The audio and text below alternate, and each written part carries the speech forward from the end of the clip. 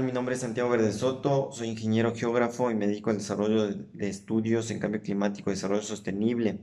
También soy un aficionado al andinismo y a estar en contacto con los temas altoandinos.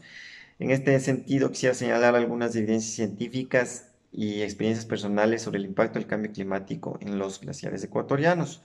Los Andes ecuatorianos albergan cerca del 4% de los glaciares tropicales a nivel global y estos ecosistemas son altamente sensibles al incremento de la temperatura y por lo tanto reflejan el impacto del cambio climático.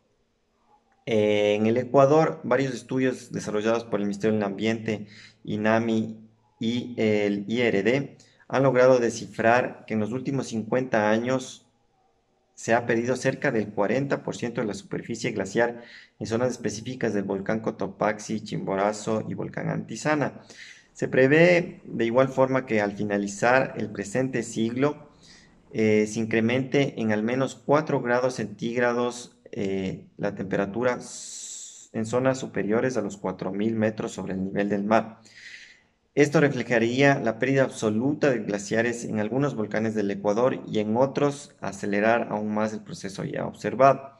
Desde el punto de vista personal, cada vez es más difícil o toma más tiempo acceder a glaciares ubicados en el volcán Cotopaxi, Cayambe, Antizana, volcán Chimborazo.